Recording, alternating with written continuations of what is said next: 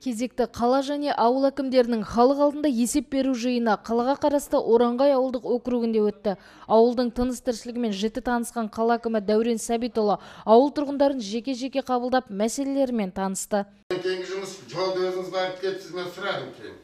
Дәурен ағай келіп жатқанда қиналып кетті деді. Машинасын жүруіне деді. Ана жолды енді аэропорт біте қойсын деді ғой енді. Үлкен басшыларымыз да соны айтты. Хабарлар қатынап ол жол сіздің назарыңызда болу керек. Бірақ аэропорт түгел қазір не қосқорған екі су қоймасы қой- салынып жатыр ғой. Иә сол құрылыс біткеннен кейін сол асфальт жөндейтін боламыз. Ол облыстық басқарма хаб- хабар жібергенбіз оған да жолдама жібергенбіз. Бірақ айтты сол құрылыс жұмыстары бітсін сосын жүкті машиналар кетеді. Жөндеу жұмыстарын бастаймыз. Карантин талаптарын сақтай отырып өткізілген жиынды қалалық мәслихат хатшысы талғат рахымұлы жүргізіп отырды. Бірінші болып оранғай ауылдық округінің әкімі сыздық хамзаұлы 2020 жылы атқарылған жұмыстар барысын баяндады. Ал қала әкімінің есебі бейне көрсетілім арқылы таныстырылды. Әлеуметтік пакет берілді.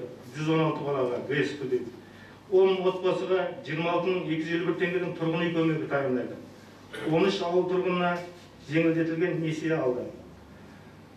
Биылғы төтенше жағдай байланысты былтырғы қайырымдылық қоры ұйымдастырылып кентау қаласының қамқорлық бағдарламасын іске асыру аясында 14 кәсіпкерлік кәсіпкерлердің демеушімен 142 мұқтаж аз қамтылған және көп бала отбасыларға көмек берілді.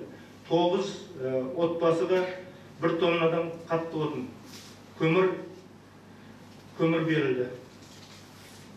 Тұрақты жұмысқа 76 азамат жастар практикасына 11 азамат мүмкіндігі шектеулі үш азамат жұмысқа тартылып ақылы қоғамдық жұмысқа 25 азамат тартылды. Э, кәсіптік оқытуға 6 азаматымыз э, оқып бітірді.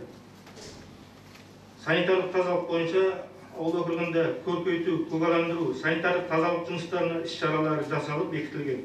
Бекітілген іс шараға сәйкес э, 26 рет сенбілік ұйымдастырып нәтижесінде 109 тонна күл қоқыс арнайы полигонға апарып төгілді.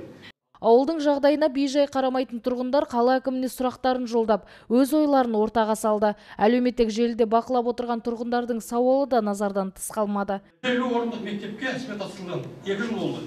Биыл соңғы жылы. Сол енді биыл салынмаса ол уже жойылады ол кісі Иә, оған қандай негіз бар? Енді мектептердің бәрі бірінші қаңтардан бастап облыс деңгейіне өтті. Мен э, былтыр да есеп берген кезде де айтқам кентау қаласының өзінде 16 ауыл бар.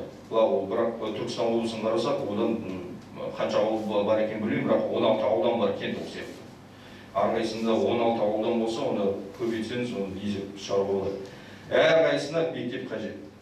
Мен сол кезде былтыр айтқанмын осы жергілікті мен оранғай елді мекенінен э, шыққан э, ірі кәсіпкерлер болса онда өз э, жеке инвестицияға мектеп салуға болады. Жеті тире он жылдың ішінде мемлекет ол салынған ақшаны қайтарып береді. Тағы да үстінен сыйақысы да болады.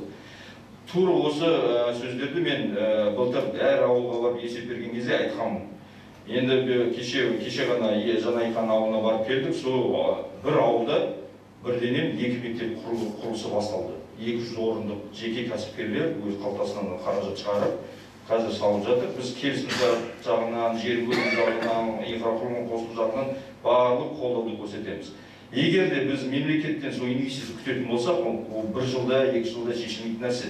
Пандемияға қарамастан ел игілігі үшін атқарылған істермен танысқан тұрғындар әкім есебіне оң бағаларын берді.